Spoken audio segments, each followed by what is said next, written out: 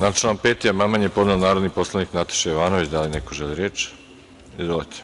Čudite se i vi Martinović kako ja tražim repliku. Ovde nema trenutno našeg ovlašćenog predstavnika, koleginica Vukojičić je govorila svojim argumentima pogrešno tumačeći amandman koji je kolega Jojić podneo. Ali, nema veze, ja ću nastaviti da govorim i o njegovom amandmanu, a i o svom, jer je otprilike to nastavak onog uvodnog mog današnjeg izlaganja.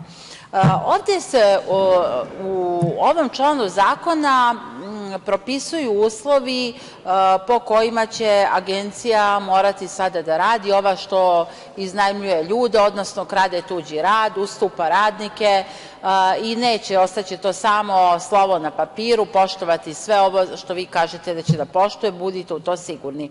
Taj zaposleni će moći da bude ustupljen nekoj drugoj kompaniji, onda on nije kada odlazi na to radno mesto, jer Agencija ga ustupa, izvorno zaposlen tamo.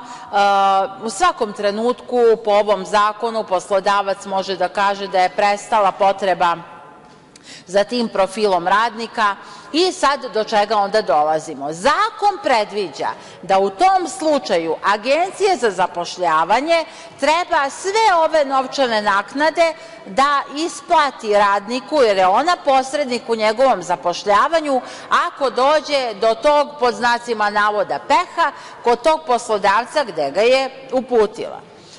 Vi ste sad ovde ovim članom na koji sam ja podnela amandman propisali uslove oko polaganja ispita, oko kancelarije, oko broja zaposlenih, ali nigde nema mogućnosti da se taj radnik obešteti, jer u onom prvom članu o kome je bilo reči pre nešto više od sat vremena govori se koji su to potrebni akti da bi se osnovala ta agencija.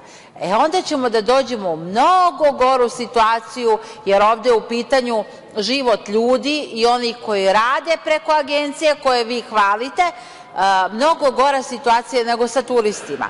Vi ste promenili Zakon o turističkim agencijama da se turisti osiguraju polisama osiguranja ako idu preko agencije koja propadne, koja doživi apsolutni bankrot i koja pokrade novac od tih putnika za avansno uplaćene aranžmane. A ovde gde ljude upućujete, mučenike koji rade za bednu platu, za minimalac, i to uglavnom teške poslove po fabrikama ili neke poslove koji su slabo plaćeni, da rade preko agencija, ne dajete im nikakvu sigurnost, jer taj poslodavac gde ste ga vi poslali, tog radnika, tog mučenika da radi preko agencije, u jednom danu može zbog duga prema poveriocima da propadne, da mu se blokira račun. Jel tako, kolega Arsiću? I onda on više nema sredstva. Otkud taj radnik to zna koji je tamo otišao i još se muči i još nema sve te prinadležnosti koje bi imao da je u stalnom radnom odnosu preko Nacionalne službe za zapošljavanje.